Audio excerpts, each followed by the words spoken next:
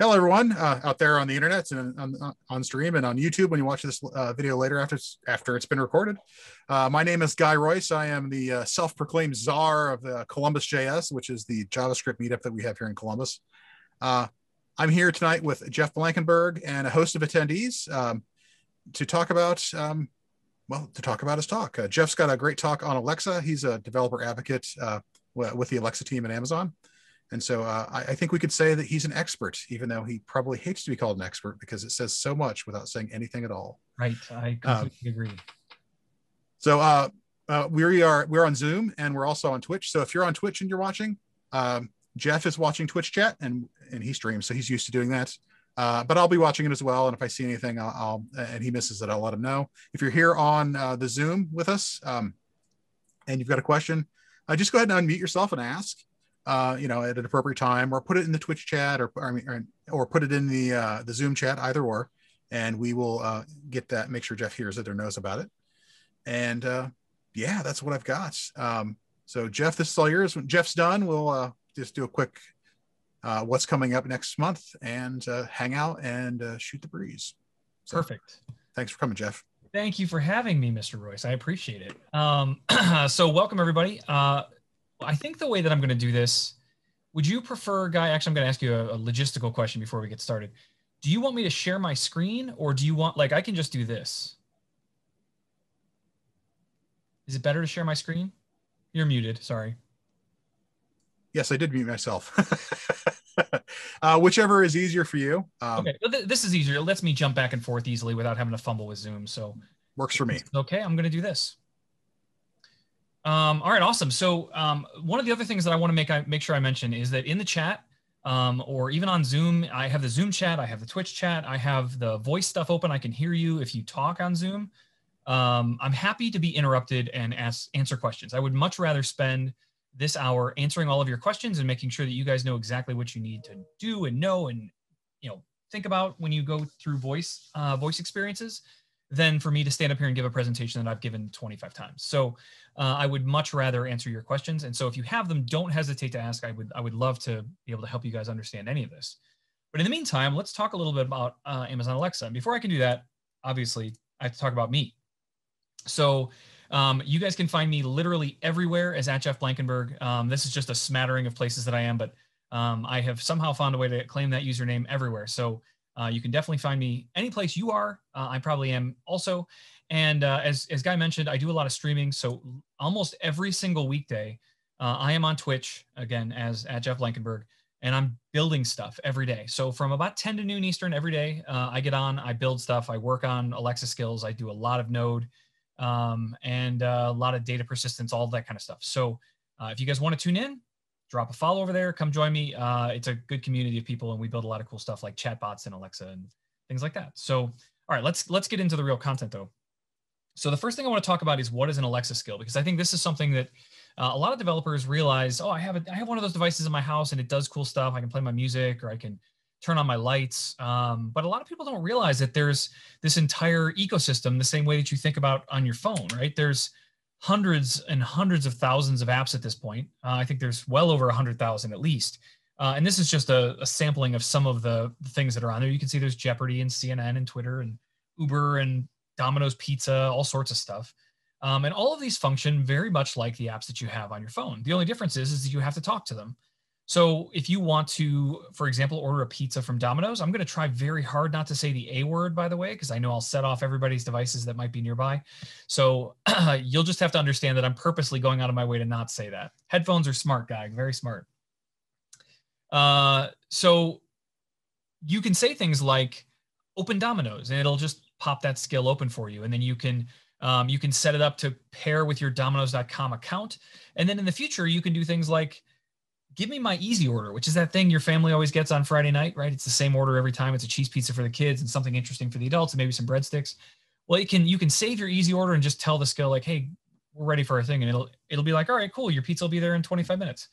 Um, that kind of stuff is really possible and really awesome when you think about just being able to yell that out in the kitchen without having to get your phone out and log into stuff and do all those kinds of things. So that's what a skill is. That's what we're going to talk a, a, little bit about today. And I know that some of the folks that are here um, watching, have even built some skills? So uh, make sure you mention in the chat if you have stuff people you want to try or whatever. Um, mention it in the chat. That's a good opportunity for people to see what you're working on. Okay, so let's talk about what it goes into building a skill because one of the first things that might be obvious to you is that voice skills don't have the same kind of interfaces that you see when you build stuff for web or for mobile, right? Or desktop. Um, you don't have physical buttons, you don't have text boxes, you don't have radio buttons, you don't have all that stuff that we normally think about when we build interfaces. All you have is the user's voice. And we have to think about how that works. And so uh, I know you're staring at a DVD player right now, but uh, there's a really good reason for that. Uh, and I think it's a good illustration of how we think about the interface for a human's voice talking to a computer. Now, none of us probably have a voice enabled DVD player. In fact, that would seem kind of silly, I think, um, because you don't really interact with them much, or maybe you have a remote control. Um, but what I want you to imagine for a moment is that you have been tasked at work with building a DVD player that is completely voice operated. And so one of the first exercises you'll do is think about, okay, what does the interface look like? What are people going to say to this thing? And so you can look at the face of this and get a pretty good clue, right? There's an eject button, there's a play and pause button, uh, there's a power button. On some more advanced DVD players, you might even have fast forward or rewind. You might have a stop button. Um, some DVD players are super advanced. They have five or 10 discs in them. Um, I, I, even had a carousel way, way back in the day that held like 50. Um, and so you had buttons to navigate those discs and things too. So you can think about all of those things would be controls that you might find on a remote controller right on the face of the device. And when we think about building for voice, we think about what the user's intent is. And so that, that word intent is going to become really important as we go through all of this. Uh, and it's one of the things that I really like to key in on to make sure people understand. Because if you don't get the concept of an intent, the rest of this gets a little harder. So the intents for this DVD player might be play, pause, stop, turn off, eject, right? We'll just, we'll live with that small subset. And so as we think about a user being able to say stuff, our first initial prototype might be just those words. But eventually we want to build it so that people can think about saying it the way they talk. They might say, it's showtime or play the movie, right? Instead of just saying the word play. Uh, or again, in that carousel situation, they might even say something like play Shawshank Redemption. And so now you need to know not only do they want to play, but you know exactly which movie they want to play too. So th- all of these things start to play together. But at the end of the day, whether they say play or Shawshank Redemption or Star Wars or whatever it is, they mean play. They, their intention is to play a movie. Uh, in the same way, if they say stop or turn off or quit or exit or whatever, all of those things mean for the user, they mean stop. I want to stop the thing that's happening. And so that's the really important piece of this. We want to think about what are those individual intentions, the intents that a user has when they use our voice software. And so play is one, stop is another. And we're going to build out these separate intents as a way to manage and control how we handle all of the interactions that happen inside of our skill. And it also gives us the, the ability to push back and say, I'm sorry, that's not something I know how to do.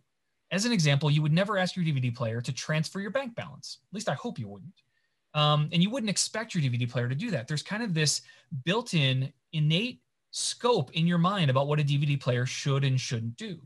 And so we would never generally ask our DVD player to transfer our bank balance. But if we have a more vague skill, a more vague application that could do a bunch of stuff, we need to be really clear and concise with our users about what our scope is and what it isn't. Um, and we only provide intents that handle the is part.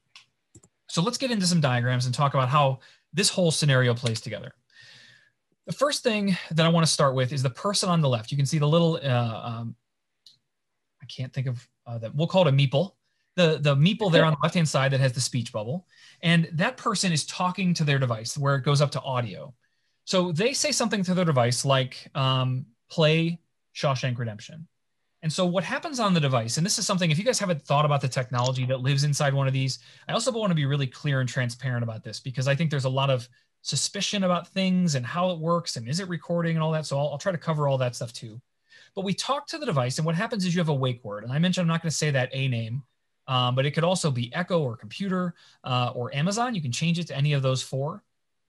Uh, but when you say that word, there is an onboard engine that is listening specifically and only for that word. Um, and so it's trained specifically to listen for that thing. And when it does, it turns the ring on your device uh, and starts listening to everything else that you're going to say. So it's not doing anything. It's not listening. It's not recording. It's not sending anything to the cloud until you tell it to wake up. And when you do tell it to wake up by using that wake word, um, then the blue ring on top turns on to let you know that, hey, I am now recording and it's going to listen to the rest of the stuff that you say. So if you say the wake word and then you say play Shawshank Redemption, what it does is it captures that audio file and it ships it off to the cloud. There's no processing happening locally on the device. Uh, all it is really is a microphone and a speaker. And so it takes the recording that it makes and it ships that off to the cloud. And the first thing we do is speech recognition. Uh, if you guys haven't played with audio to speech recognition, the basic concept is it takes that waveform that it's uh, created, it compares it against a library of what we call phonemes for the specific language that you indicated you're speaking in. So, for the example, English, there's a bunch of sounds that we make with our language um, that are also in many other languages, but they they change from language to language, uh, and especially as you get into more adventurous things like um, Chinese or Japanese uh, or or even uh, German, there's different sounds and different things that that move through these languages. Um, and so it compares your waveform to the library of phonemes, which are small sounds in words, uh, and translates that down to text. It also uses machine learning to do all of this because it want to make sure that it heard the words properly, but that they also make sense in the context of what you were saying. Uh, and if you've ever watched a speech to text engine happen, you'll see oftentimes it'll put one word in place and then realize as it looks at the context that something needs to change. Um, that's what's happening here behind the scenes is it's trying to formulate what sentence or phrase did you say based on the waveform that you provided. Finally, and this is my favorite part, the last step is natural language understanding because we need to take that one step further. It's not good enough to just know what the words are that you said. We need to boil it down to that intent. What was your intention? What are you trying to do? Uh, and so, this natural language understanding, the way I like to explain this is if you've ever been in a relationship in your life, you know that what you say is not always what you mean. And a good example of this is any conversation I've had with my wife, right? Hey, is everything okay? I'm fine. Well, I can guarantee you you're not fine. But if I looked just verbatim at the words that she used, I would interpret that to mean that she's fine.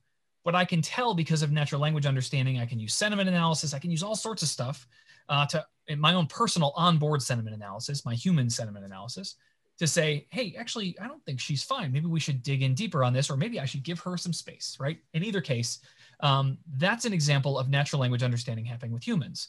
The same thing happens here uh, on a lesser scale, right? Because we're talking about machine learning.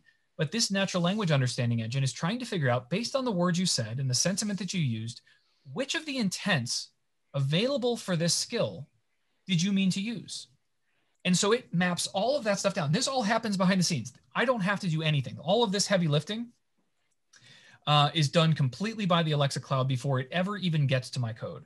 So all of that stuff happens. It boils it down to an intent. It says, oh, by the way, um, you have a slot. We'll talk about slots in a minute, but you have a slot that they filled in with the words Shawshank Redemption. So I'm going to give you that stuff too. So when we get to the request part where we're getting to my service, the request is going to hand off to me, hey, here's an anonymized user ID Here's a bunch of other stuff about their device that you may or may not want to know. Um, here's the intent they wanted. The intent in this case is the play intent, let's say. And by the way, they had this slot, and the slot value they gave me was Shawshank Redemption. So I take that information, this user, that intent, this slot value, and I say, oh, they want to watch Shawshank Redemption. Okay. So then my service, my code, this is just, um, this is serverless. It's Node running in Lambda for me, but it can be whatever service you want to have running wherever you want it to be running. Um, I, I can't recommend not looking into Lambda on AWS only because it's as close to free as you'll ever find. Um, in fact, I haven't found a way to spend money yet on Lambda, and I've tried. So it's um, it's a really good way to think about this, and we have a lot of mechanisms set up, and I'll show you in a minute um, to set it up and make it all run. So as we go through all of that, we get to our service, and now our code takes that stuff, interprets it, does whatever we want to do, make some calls, call some APIs, look some things up, does some calculations, whatever our code needs to do. And then at the end of the day, all we're doing is formulating a JSON document that we pass back to the service. Uh, and that in that document is what do we want Alexa to say to the user the next time? Um, do we have any session attributes that we want to save? Like, hey, we want to remember what this user's done. So we're going to pass some session attributes through so that the next time they talk to us, we know what happened. We can remember things about the user. Um, but we pass all that stuff back. That goes back through our text to speech engine. Uh, we're back in that cloud there in the center. Alexa turns the text that you provided into speech, and that comes back to the user back through their audio device. But you can see there's a path along the bottom, which is visual. And uh, as you guys can see behind me here, I have a bunch of devices. Many of them have screens on them. And you can pass visual information, you can pass really rich things, animations, all sorts of cool stuff on the screens. Uh, and in the Alexa app itself, you can also pass something we call cards, which are really kind of like static content. Kind of think of it like a like a, a tweet, right? You have a little box inside the app, and it's like an updated kind of timeline, um, and you can pass information in there. So it's really useful when somebody asks about the weather. You can pass all the weather right into their Alexa app, and then um, they don't have to continue asking or looking it up anywhere. They just have it in the app ready to go. Um, so Will asked the question, how do you store state in a Lambda? Well, the state itself, you don't actually store. Lambda is serverless, right? It's just some code that runs. Um, but what I do, the service that I use, um, I teeter between these two, but I tend to lean more. I'm sure you guys have seen or used Airtable before. Uh, I tend to lean on Airtable a little bit just because it has the API and everything kind of wrapped around it already for me. So it's really easy for me to make JSON calls in and out. Um, but being an uh, Amazon shill, I also have to say that I use DynamoDB a, a bit. Um, but I'm, I've also came from the Microsoft world, so I've run through SQL servers or whatever. But no, I'm storing my state somewhere else. So the the key to this though, uh, and oh, Redis might be a thing. Maybe we should talk about that. um, but the the thing that I want to say about storing state is that there's two ways to manage state. If you need long running state, so I need to remember stuff about a user forever, then yeah, you're going to go with something like Redis or Airtable or whatever data service you really like. That doesn't matter. Um, as long as you can call it from Node, you, you should be able to use it no problem. However, um, for short-term stuff, like what was the question I just asked them, right? This is a really good example. Um, the session object is a great place to store that short-term stuff, and that's what Simon's getting to. Is the the Alexa session object is what I was mentioning. I can pass data into that cloud that is my session data, and because it's called session data, that should be obvious. It exists for the session. So as long as the user is talking and we continue to have our conversation, it will continue to exist. But if they quit my skill or they walk away from their device and it decides to end the session for them, um, then that session data is all gone. So what I tend to do, because a lot of the data that I build in my skills needs to be persisted long term, um, I tend to persist almost every time that I do anything anyway. Uh, and then when the user comes back in, I go rehydrate uh, and bring that data back. So uh, it's a little it's a little heavier, a little chunkier service, I guess, in the way that I do it. Um, but it assures me that I have all the data I need every single time, and I'm not losing anything along the way. So that's a quick tour of kind of how the technical structure of all this stuff works. Um, what I'd like to do now, if you guys don't mind, we have I think we have some time. It's, uh, it's seven eighteen. I thought this would take about 20 minutes. We'll do about 20 minutes of demo-ish stuff, um, and then we'll just do questions at the end if that's uh, if that's okay with everybody. So my, my next slide says, okay, let's do this, which means get out of the slides, Jeff. Let's go open a code editor and do something. Uh, where did it go? There it is. Okay. So this is VS Code. Um, I'm going to do this all from the command line, but actually before I do that, let's uh, let's go here. Um, I want to go to developer.amazon.com. I think it's important for you guys to at least see this, uh, but I'm going to do everything from the command line just because I prefer that. But let's go look at uh, let's go look at this one. This is good. So this is a skill I'm working on that's basically a voice casino. Uh, and what you can see in here, if I open up my interaction model, I mentioned those intents that we're talking about. So as I think about my casino, you guys can't see this, I just realized. There we go, now you can see it. Um, so I'm in a skill, this is in the developer portal and um, developer.amazon.com. I'm in the intent section here. And the first thing that I want you to see are what are the intents that I have for this skill. So you can say I have, these are built-in ones, the ones that start with Amazon, but I have cancel and help and stop and repeat. These are things that users commonly say, and this is as close to a universal interface as we have. Um, these are required. You can see that those are listed over here. Um, cancel, help, and stop have to be provided by, in every skill. And it's because we want users to be able to reliably navigate with their voice the things that they're doing. So those are always there. But the ones that I've created, the ones that are custom, these are the ones that are really important. So I have user account intent or start slots intent. Remember, this is a casino. So this intent means, hey, they've indicated to me that they want to start a game of slots. Uh, this means they want to start a game of video poker. They've indicated they want to start a game of roulette. Uh, down here, we have some, uh, we have them checking their balance. So if they want to know anything about how many credits they have or whatever, uh, they can do that here. Uh, if they want to spin the wheel in roulette, I have an intent for that. If they want to deal a hand of poker. So they're in that middle state. If you guys have ever played video poker, you're dealt five cards. Uh, do you guys say my screen is too blurry? I can uh, I can try blowing it up, but it feels like I'm I'm broadcasting at a pretty high resolution. Um, can you can anybody else confirm? Are we having? It, it is. It's blurry on my side too. It could be Zoom. Interesting. Okay. Well, I apologize for that. I'll, I'll just blow things up. That's okay. Um, yeah. So I have yeah. So I have I have all of these intents for checking my balance and um, checking summaries of how many bets do I have on the table right now. Um, what are the pay tables? If you've ever walked up to a slots a slot machine, um, they pay differently depending on which fruit you get or whatever, right? So this is this lets me find out what that pay table looks like, and then there's a leaderboard, so I can see how I'm doing against my friends and stuff like that. So these are the intents, and if I open one up like start slots, you can see that I have a bunch of what we call sample utterances that are the things that I think represent the words humans might use to do this. So they might say 10 on slots or slots for 10 or bet 10 coins on slots, right? There's, there's some variation here. Uh, play slots for 10. Um, what I don't want to do, and this is something that we as developers try to get really explicit about, is we forget that there's a machine learning engine sitting behind all of this, helping us. And so we tend to try to come up with every possible permutation of the ways people might speak. You don't need to do that. I generally recommend if you're between 10 and 15 different utterances for an intent, you're probably good. Unless you have wildly varying things that you think people might say, then include those. But 10 to 15 things generally is, is the rule of thumb for me. If you if you have more than 100, you're doing something wrong. Like you've you've gone down a bad path because you're you're clearly spending way too much time thinking about all the ways people will say things and not trusting the engine. So you can see the number of utterances I have for these 10, 14, 7, 9. Um, you don't have to go crazy on this stuff. But so I have these intents. Um, all of this points out to a Lambda function um, that handles all of these requests. And I, I, can show you what this looks like as well before we get started building one, because I want to I want to show you that too. So if I say open the Chatino, this should work. I haven't checked on this in a little while, so maybe the code's broken. Who knows? Welcome to the Chatino. There we go. That's it. That's all you're going to give me. Oh, I started building a new one. That's right. So we don't have any real functionality. I apologize. Um, but you can see that just by opening my skill, I have this nice um, terminal here. I can see the JSON input. So this is that document that gets passed into my code that I mentioned earlier. So you can see down here, it shows me what kind of device I have, what the, the anonymous user ID is. It's consistent every time they come in, but it's anonymous. Um, lots and lots of stuff about their device. Further down I go, this is hard when I'm all zoomed in like this. Um, you can see that down, when I get down here to the bottom, the request is what's really interesting about what the user wanted to do.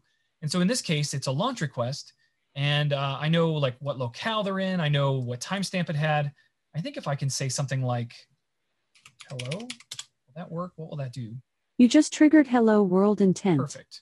So in this case, you can see that I have a hello world intent built into this skill. And so it recognizes that, hey, this was an intent request.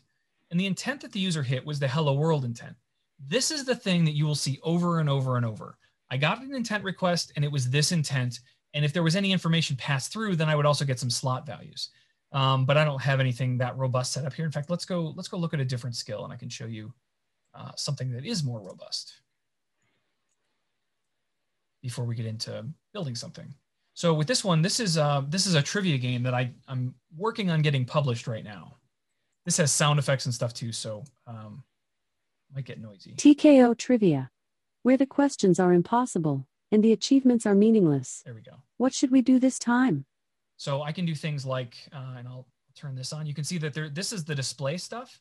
So you can see that I get, I can do all sorts of nice animations and really rich graphics on top of all this. And this would show on the devices that are behind me, but I get to see all this stuff in my debug as well. Uh, but let's, let's do a trivia question. We'll do this in the chat. If anybody has any um, proclivities to knowing the answer to questions, we'll choose technology. That'll be fun. Let's see what we get. If I zoom out, you can see that it actually has like a text box over here on the left. Oops. It looks like you don't Oh, own the that's right. technology category yet. Would you like to unlock it? So this gets you get to see some in-skill purchasing here. Um, this is Unlock all of the product. technology questions and And now we'll get a technology question. please say your four digit code to confirm the purchase. Really, a really tough pin. All right, so it should say, "Hey, now you own it," and then it should ask me a trivia question. Great. Your order is complete and I've emailed you a receipt. Thanks for your purchase. Your support makes it possible to continue growing our library of questions. This is a fun technology question for you. You've got one on your phone, and you may have one in your car. What does GPS stand for? Now, I would bet all of us know the answer to this question, um, but you'd be surprised the number of people that know GPS but have no idea what the words stand for. Uh, yeah, John nailed it. Global positioning system. So let's let's type that in. Okay, what is your answer? Global positioning system. Let's see if she thinks I'm right. Nice. Cha-ching. You got that one right. The answer to that question was global positioning system. What should we do next? There we go. So that's that's the experience of playing through a skill. But what we saw is each time, every single time that we talked to the skill, what we were doing was hitting another intent. And so you can see in this one, this is a much more robust request. I hit an intent request. I'll try to blow this up for you again. Um, I hit an intent request. Get down here to the bottom. So I had an intent request. You can see that the answer intent was hit. So I'm answering the question. And then I have this slot. The name of the slot is answer. And I can see that the value that the user gave me was global positioning system. Now there's a bunch of other nice stuff that falls into this, like what we call entity resolution. This is where it actually looks at the values that I've provided as the answer. And it says, uh, hey, look at this. One of the values that you provided as the potential answer was global positioning system. And they matched that. So what this tells me immediately is that, oh my gosh, they got the right answer because it, if they matched one of my answers, well, the only slot value happened to be the right answer. So if they matched it, I know they got the answer right. Uh, and if they didn't, then I know they got the answer wrong. And I can use that as a mechanism inside my skill. But if we were doing something different, like I have another skill that's a Star Wars database, you can ask it about any planet, vehicle, race, um, weapon, all sorts of stuff, droids. It's got it's got all the answers.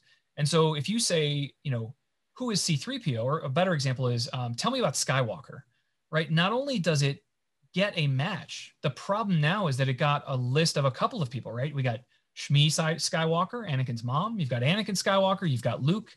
Um, I, I, won't spoil any movies for anyone else, but that is uh, those three specifically come back as entity resolutions. And in that case, I'm not trying to guess which one you got right. What I'm trying to do instead is say, oh, well, there's more than one possibility for the thing they said. So I'm going to prompt them and say, oh, I heard you say Skywalker, but did you mean Shmi or Anakin or Luke? And then I get the user to say the right thing. They say Luke, now I know exactly who they mean. Or if they say Anakin, I know who they mean. Or if they say Anakin Skywalker, even better. Uh, because now I only get one match. And what I'm trying to do is basically narrow their responses down to get one match so that I'm confident that I can give them the answer they're looking for. Uh, so lots and lots of cool stuff we can do with slots. And as I mentioned, I'm replacing these every time I ask the user a new question. So I'm dynamically updating what the slot value is so that when they ask when I ask them the question, the only possible match is the right answer. Um, and that makes it very, very easy for me to know that they got it correct. Anyway, that's a lot in a browser. Lots of really cool tools here uh, for building your interfaces, for testing.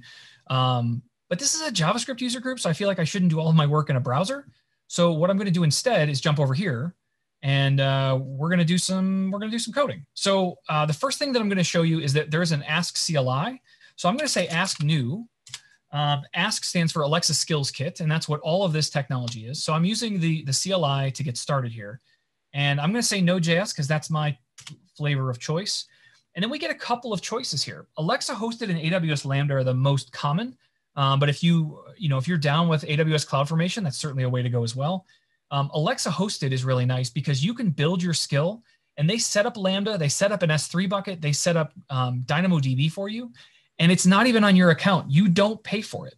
They provision all of those things for you, and you still have full access to all of them. You can change the code, you can manipulate, modify however you want, but you don't have to worry about the costs that are in, incurred by them. Now, if your code explodes, all of a sudden you've got a really popular skill or um, you're just blowing up for some reason, they will gently contact you and say, "Hey, you know what? It's time to move to AWS." But it's it's pretty aggressive to get to those kind of limits. So for the most part, most applications can just live in this Alexa hosted skills kind of free tier without ever having to worry about having to graduate. The other side, the one that I'm going to use right now is AWS Lambda. Now, I already have the AWS CLI installed on my machine. And so I do a lot of other stuff with AWS where I'm pushing stuff around and I use the CLI to do that. So I'm going to use AWS Lambda um, as my backend, and then I can push all my stuff to Lambda separately. I have a Lambda function that's part of my account. This especially makes sense if Uh, maybe your company wants to own all of your code and your services in their own cloud. Um, this is a good way to do that. So I choose Lambda. Uh, I choose a template. There's uh, there's four that they start you with. I'm going to choose Hello World just because it's super simple. Um, and then I have to give it a name. Um, I like the very convenient delete me. Uh, we'll use that as the name of my application. Um, create a folder for that. It's going ahead and it's creating all of that stuff. And so now if I go to delete me, uh, sorry, delete me, we can now see inside that folder that I have uh, an infrastructure folder, a Lambda folder, and the skill package folder. So the first thing I'll show you is CD Lambda. Um, and in there we have an index, a package.json, and a util.js. So the key things here are um, the index file primarily. This is this is the file that is that your application is going to be hit when um, when that package comes in from Alexa. So this is the file that needs to catch all of that stuff. So let's do this. Let's come over here. We'll open our folder. Uh, go to uh, where did it go? Oh no, I put it in the wrong place. I put it here. Not where I meant to put it, but that's fine for now. Um, so I, this is an easier way to just navigate and show you what's going on. So in my index file, there's already a bunch of starter code there for me, uh, but let me give you a quick tour of the other things that are here. We have a skill package. This is where my interaction model lives. This is, as you saw earlier, we have intents. This is how we define all of those things. So I have a cancel, help, and stop intent. I have a hello world intent, which is what the basic template comes with. And that's pretty much it. That's all that's there. This navigate home intent is meant for devices that have screens to go back to whatever your home screen might be for your application, but we, are not going to worry about for that for tonight. Uh, so we have cancel, help, stop, and this hello world intent. Uh, in our Lambda, you can see that we have these handlers, these little chunks right here. Uh, I have a launch request handler. I have the hello world intent handler. Uh, we have a help and a cancel and a, a, cancel and stop I've kind of merged. Uh, but all of these individual chunks are decisions. Uh, and the way that this file is structured, this is using the Alexa Skills Kit SDK. And so what we're really doing is building out a library of handlers. Uh, it processes them in this order. And so it starts with launch request, then goes to hello world, on and on. And so the way these are set up is they initially return a Boolean value. So we have a can handle function. This is what determines whether or not it can handle the request that's coming in. And so in this case, we say, is the type of this request a launch request? If it is, then yeah, I can handle that. And then we're going to go do whatever is in this handle function. Uh, if it's not, then it's going to move on to the next one, which in that list was the hello world intent handler. And in this case, it's going to say, is it an intent request? And is the intent the hello world intent? If those both return true, then we're going to go do this code. Uh, and it slowly moves, well, quickly moves through that process to figure out which, in, which handler am I supposed to fall into? We also have a bonus one that sits down here at the bottom that is the intent reflector handler. And this is here for development. I don't generally recommend um, that this goes to production, but basically if you try to hit an intent that you haven't written any code for yet, this will catch it and say, hey, you just hit this intent, but you haven't written any code for it yet. So um, that is um, that is the purpose of the intent reflector. And you can see that uh, at the at the end of our list, that's the last one. So it should have tried all of the other things before it ever gets to that one. Uh, Will asked the question, are those auto-generated or is it a can template? Um, the template that I use to start this um, is a can template. It's just our standard hello world template. In fact, it's available on GitHub if you want to go play with it or fork it or whatever. Um, but yeah, those four templates are just there. You can also, there's a command in the in the CLI that would allow you to point to your own GitHub repository. So if you if you have a pre-canned Alexa template that you like to start with that has these handlers and uses the SDK and gets everything the way exactly you like it, um, you can point to a GitHub repository of your choice also. And in fact, on my GitHub, I have uh, not there somewhere in here. I thought I thought I had it near the top. Um, come on, come on, come on. Alexa skill template. So this is a template that I built for myself. It's a little out of date for me now. Uh, so I need to go up and re-update it. But basically, I can just point directly at this Git repository and use this as the template that I start with. Um, and I just, all you have to do is just go to the repository. And I think it's, you just use this address. Um, that's all you have to point to. So it's, it's pretty simple. Anyway, great question, Will. Thank you. Um, so it processes these individual commands. So as an example, if I wanted to take this, I could say, um, welcome to the Columbus JS meetup. we can save that. Now I haven't done anything with this code yet. So the other thing that I'm going to want to do is, let's go. Come on, Linux. There we go. Um, I can say ask deploy because I haven't done this yet. What I have told it so far is that, hey, I want to build this new skill and I want to use AWS Lambda, but I haven't actually deployed anything yet. This is all still local on my machine. So when I say ask deploy, what this is going to do is it's going to then reach out to the Alexa developer portal, that website that I was showing you, and it's going to build a new skill for me. It's going to create all that stuff up there for me. Um, once it's done with that, this will take a minute and a half maybe because there's really nothing to what we've built so far. Um, once it's done that, it also has to build all of that because remember all of those sample utterances, all those intents that we've built, all of that stuff needs to be able to have the machine learning engine applied to it. And so that's building. So we're going to go ahead and build all of that stuff too. Once that's done, um, and it should be here any moment. It'll then move on and start working on the uh, AWS Lambda stuff. And that's where it's going to push all of my Lambda code up to a brand new Lambda function in my own AWS account because it uses the um, AWS SDK in, uh, in its mechanisms to be able to deploy all that stuff. So it already knows who I am and has all my security credentials and all that kind of stuff. All right, so now we're building the code itself. Um, then it's deploying it. That should happen here in just a second maybe. Please don't choke. Uh, it doesn't choke. I, I, just don't know what it's doing right now. This is the first time I've done this since I installed the um, Windows subsystem for Linux. So I'm nervously watching all of this stuff happen and hoping that it actually does. But it looks like it is. It found my found my region. It's creating it created the new Lambda function. It's updating the skill package. Uh, it's zipping everything up. It should push all that stuff up. I don't recommend this being your development process. I'll show you some cool stuff we can do to make our development faster. Because uh, if you had to do this every time you made a change, this would be a nightmare. But um, at least to get everything created and deployed, this is a good first step before we move on. So almost there, almost there.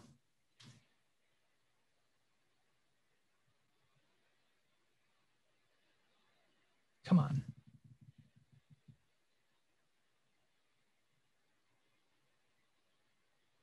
All right, skill is enabled successfully. So there's a, there's a couple of good pieces of news about this. The first is, and I just want to show you this. If I come back to the developer portal that we were in earlier and I go back to my skills, you can see that I now have a brand new skill called delete me. This is the thing that we just created. Uh, so I can come in here and I can use all the tools that you just saw a second ago where uh, I can test it. Uh, I can build my interaction model. I can play with all this stuff.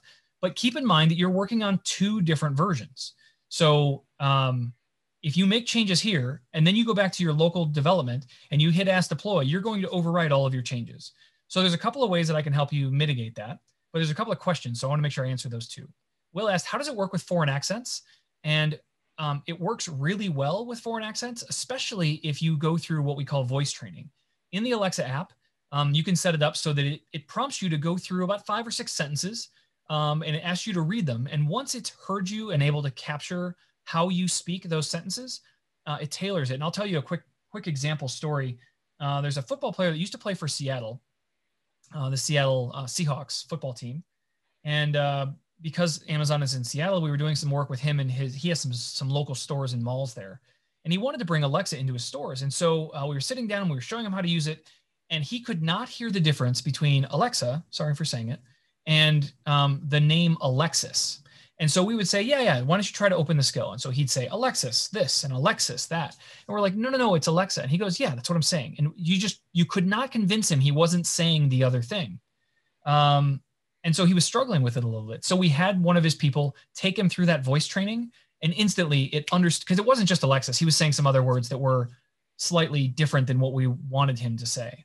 Um, but whether it's on purpose, um, like he may have been doing, or if people have speech impediments or accents or whatever it may be, in any of those cases, by using that speech training, it lets Alexa know how you're saying those words so that she can better interpret it for you. Uh, but that being said, um, you can also set it up so that you say, like, hey, I actually want to be in the UK um, voice, and then it'll also speak to you with a UK voice or an Australian accent uh, if you'd prefer. So there's lots of that kind of things that you can do.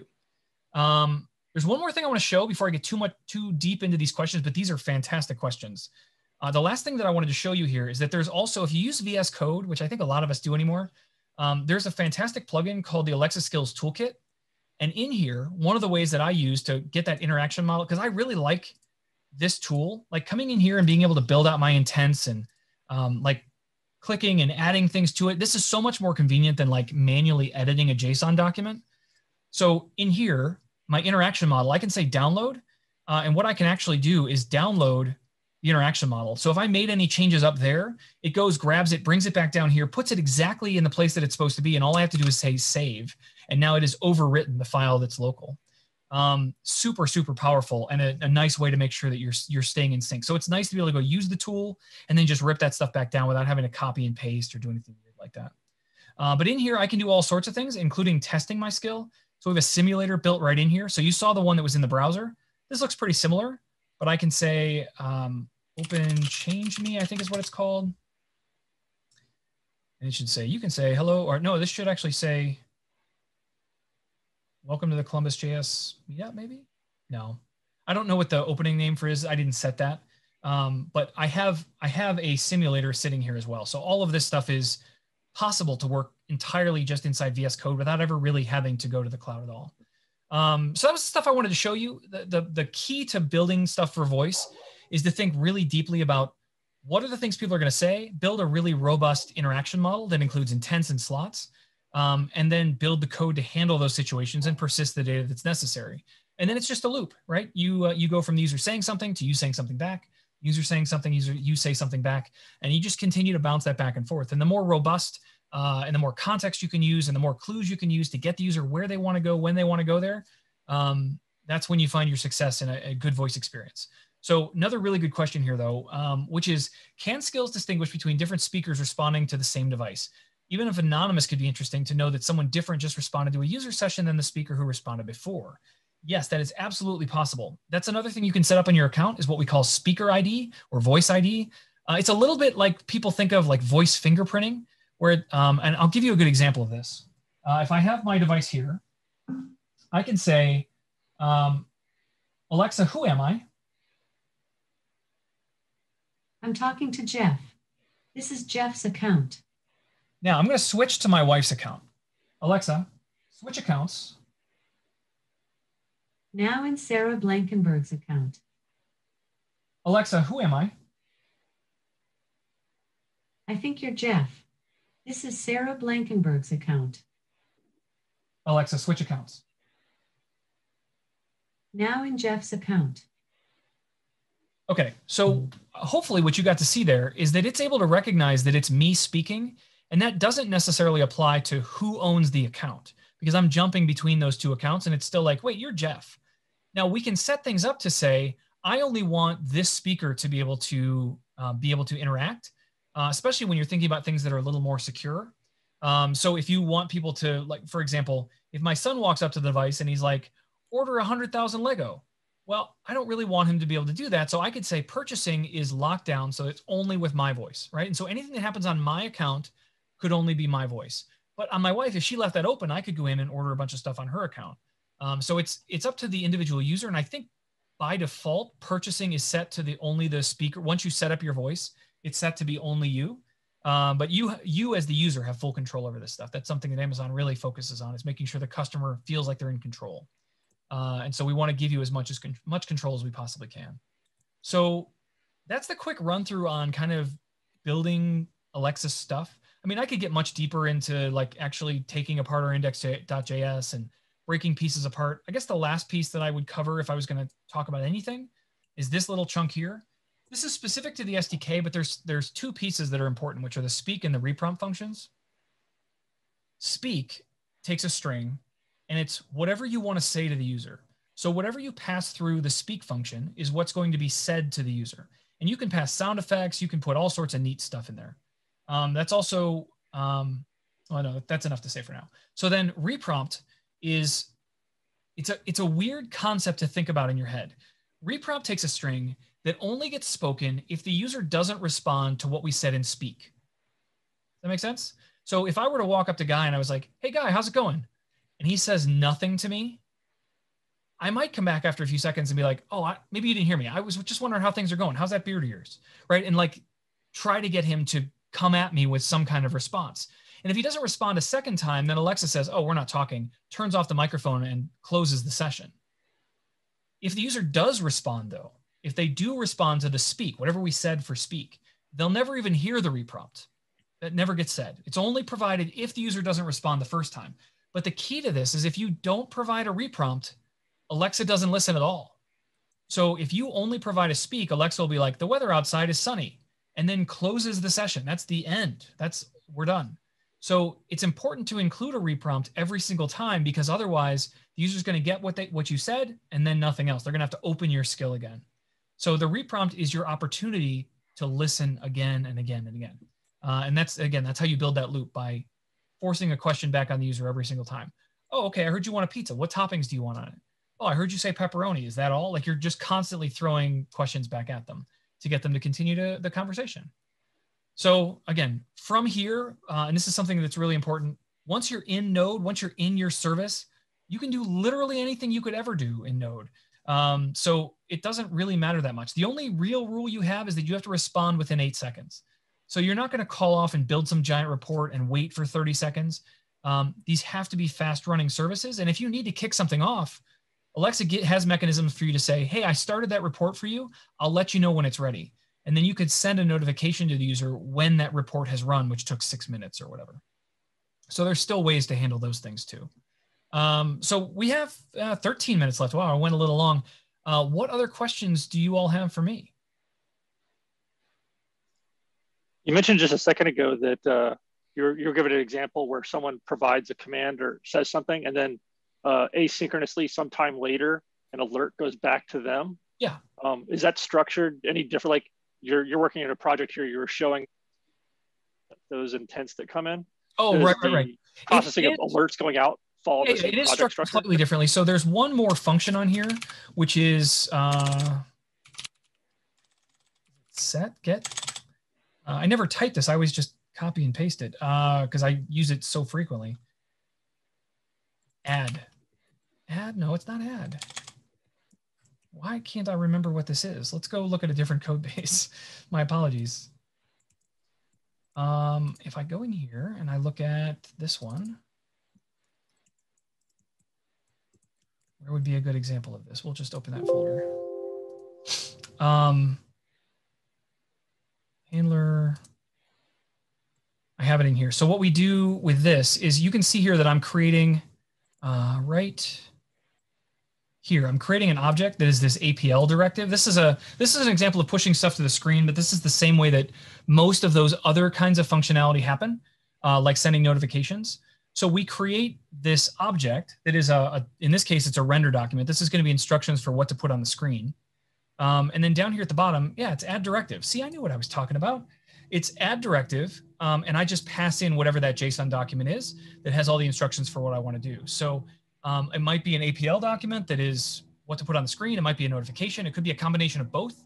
Um, but yeah, so you can see I have speak, I have reprompted. In this case, I have add directive. And there's lots and lots of directives. Um, if I do something like uh, the buy category intent, you can see that this is a uh, a directive for buying something in my skill. You saw I bought that um, technology category when we were looking at my, my trivia game. So I sent this into the service and actually the, the entire purchase process that I went through is actually not handled by my skill. It's handled by the Alexa service. What I do is send it a, a product ID that I've previously registered and it knows what the price of that is. It knows the name and the description and all the other stuff. Um, and so uh, all I do is say, hey, I'm trying to sell this user this product ID. Go do the thing it tries to sell them that product and the user either does or doesn't buy it. And I handle all of those kinds of responses back to my skill, which is things like buy declined, right? So in this case, I say, oh, you didn't want to buy that. That's cool. Uh, what would you like to do instead, right? So I'm handling all of those different scenarios. Um, do I have guidelines on how to best mix up responses so Alexa doesn't always reply with the same phrasing? I feel like, Simon, you are teeing me up for an incredible story that I had to tell because that is exactly what I'm doing right here. Uh, you can see in this case that I have a function called get random speech. Uh, and instead of having hard coded speech written in here that says something like, oh, your purchase, you didn't decide to buy it or whatever.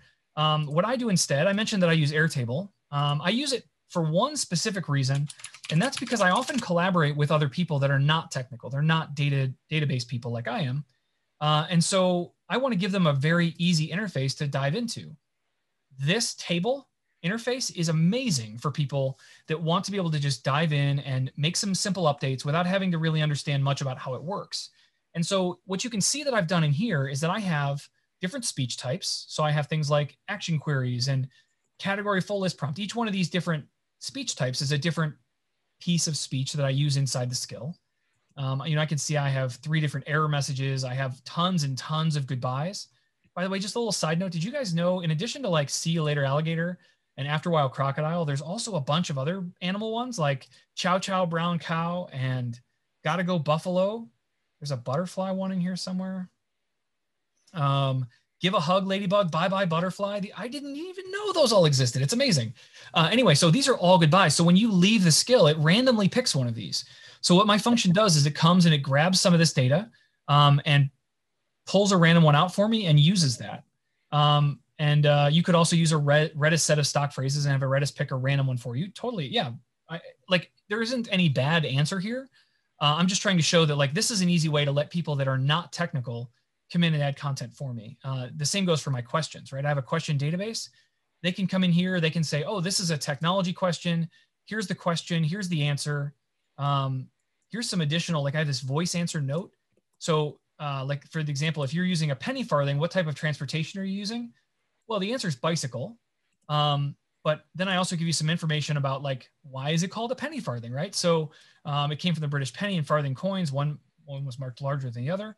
And then I have synonyms, which are things that sound like that or might be other answers for the, the actual answer. Uh, so I keep all of this in one place, and then I can just pluck the things that I need as I need them.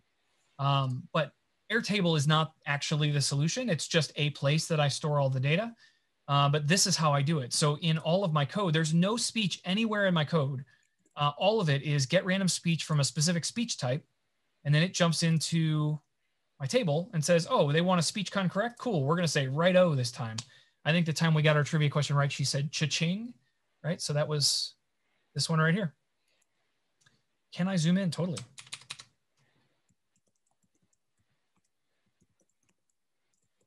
So that's the table structure. This is the actual speech that will get used. And this is, uh, this is a markup language called SSML. Uh, think of it like HTML. Um, and you just mark up the speech. Like hey i want you to make this more exciting. So when you put this interjection around it there's a thousand or so words that can be more exciting like alrighty instead of just like alrighty right? She adds emotion to it. Um, doug says if someone uses the word ranger they could be talking about the national park service a sports team or lord of the rings. What help does alexa have for disentangling that? Well, the good news on all of this is that you kind of are in control of this. So, generally, for something like Ranger, this is a value that you're expecting. Um, so you already know the context. You might have a list of movies, or you might have a list of sports teams, or you might have a list of park services or uh, park services jobs. Uh, and so what happens is the user is going to say, tell me about Ranger. And depending on what your skill does and the slot that you've built, I can show you one of my slots as well. We'll go look at the trivia game again, because that has much more obvious slots. I come down to my slot types here, you can see that I have uh, category. This is a good example. So the categories of my trivia game are, there's 20 different categories and you can see them listed here on the left, art and stage, business world, design, film, food and drink. And then I also have synonyms for those because they may not remember to say art and stage, but they know it's like theater-ish. So they might say theater or give me trivia about plays, right? Or um, maybe they only remember one of the words. So any of these synonyms will also trigger the same entry. But the key for you is to build slots that represent the kinds of data that you're expecting. And so another good example of this might be my uh, casino. If we look at this one, I have some good slot values for this as well. So for these slot types, you can see I have things like card suits, clubs, diamonds, hearts, and spades. Those are the four values that I'm expecting. If they say, give me the seven of tacos, I shouldn't know what to do with that. Um, but to disambiguate what version of ranger they meant, is often hap- it often happens um, that you're going to be able to recognize that it doesn't match your data. And so what Doug is asking is suppose there's one skill for sports and a different skill for Lord of the Rings trivia. Okay, so now what you're asking is how does it know which skill to open? That's a different question, which is fine. You may not have realized that. But if, if you're talking about getting into which skill, and each skill is just called Ranger, initially, And this is where it gets really tricky. Initially, the service itself, the machine learning engine of Alexa, is going to recommend one to you. Um, and it doesn't it doesn't necessarily know your context. Um, so if the skill is just called Ranger, that might be a little tricky. But if it's called Hockey Ranger or something like that, then you, then you have a better chance of being found. That's actually one of the reasons that we require that the invocation name, the name of your skill, has to have at least two words. Um, that rule is breakable if you're like a uh, you have something copyrighted like Starbucks. Well, yeah, you can have one word if you're Starbucks, but if you are just me or you or whatever, and we're just building a cool thing, has to at least be two words. But on top of that, when you ask for a skill, it's going to first look at the list of skills you've ever used before. Um, so it considers the ones that you've enabled uh, to be kind of the ones that we're going to focus on first. And if it can't find one there, then it's going to recommend one to you. And what it's going to say is, oh, I found something you might like. It's this. And if it's not the one you're looking for, you can say no and she'll recommend more. But it's generally irresponsible to build a skill that is only one vague word like ranger uh, because you're going to catch a lot of stuff you weren't expecting. Um, and you're also going to miss out on people that may not have known exactly how to find you. So I generally recommend having a more specific name, but there there would not be in your example if there were two skills called Ranger, one about Lord of the Rings and one about hockey teams, um, it would not necessarily know the difference um, because it, the user isn't giving them any context. It's all based on user context, and there isn't any in that specific example. But it'll do its very best to try to accommodate you. And I would imagine that the engine is context aware enough to realize that this person really loves sports uh, based on other activities that they've done that maybe will lean towards sports or if they're really into fantasy and maybe dungeons and dragons and some other stuff maybe maybe it's more likely they want lord of the rings trivia um, and there are some mechanisms behind the scenes that we call name-free invocation, which are ways for developers. It's kind of like um, search engine optimization, where you can say, "Here's a bunch of other stuff people might say that kind of refers to what I do," um, and that goes through certification and stuff. So you're not going to get to like lie about it, but it's a it's another mechanism we have for people to make sure they end up in the right place. I hope that uh, hope that answers your question. My gosh, it's already eight. I've been talking for an hour. Guy, this has been awesome. Are there any other questions?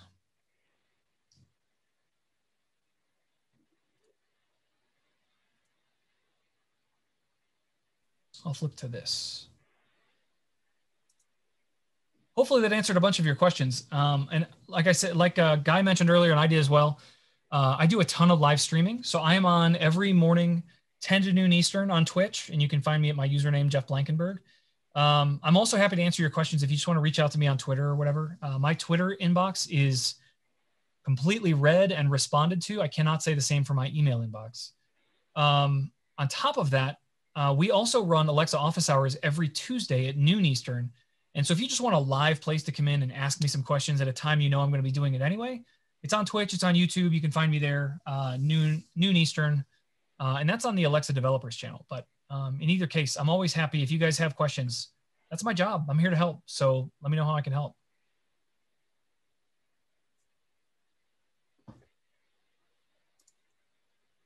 Okay. we, Are there any other questions? Sure. Uh, I'll shoot. Um, where's the best place to start if you're new to this? Um, if you're new to if you're new to voice, or are you also new to JavaScript? Uh, new to voice. Okay. Um, what I would recommend, honestly, is there there are a number of tutorials. Um, so you can go to developer.alexa. Actually, let me see if I can get you a. The best place to go, I'm going to drop it in the chat, is um, alexa.designs slash start. Um, this is a page that we have set up specifically for you to be able to go and like learn about all the pieces and how they all work. Um, but there's honestly a number of GitHub repositories at the Alexa GitHub um, that have enough instruction that if you know JavaScript and you're just trying to figure out how this stuff fits together, um, I think that that's a really good place. But the page that I just sent you to, alexa.design slash start, um, is where we have all of our like official tutorials and all that stuff. But you may find pretty quickly that you're like, God, this is too basic. Like, I just want to know how that thing goes. So like, it's up to you, but um, the GitHub repositories are mentioned on here, so you'll find them as you go through. Thank you. Sure, Dean, no problem.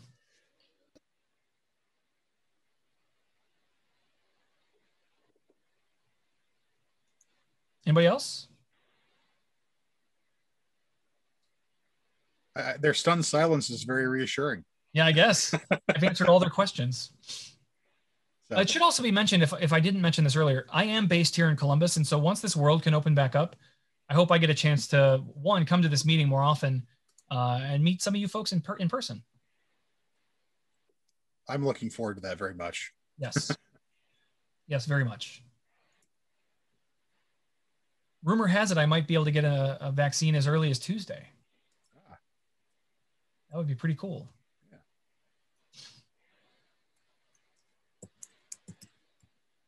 Well, if there are any other questions, then uh, I'm going to go ahead and shut off the stream and thank everyone for attending. Uh, we can hang out after and uh, talk about whatever. We don't have to talk about Alexa. Uh, we'll, you know, hang out for the next hour or so if, if people want, or you know, drop off, whatever you want to do. It's all up to you. I I hate to be that guy, but I can't stick around. Uh, okay. I have a thing I have to do here at 8:15 and then I have uh I'm doing uh like recording some podcast at 9. It's a full evening.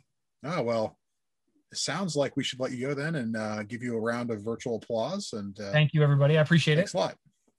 I appreciate you coming out. And uh, everyone on Twitter, uh, thanks for watching. And everyone on YouTube, thanks for watching this uh, recorded. Uh, see y'all you. later. Bye everybody.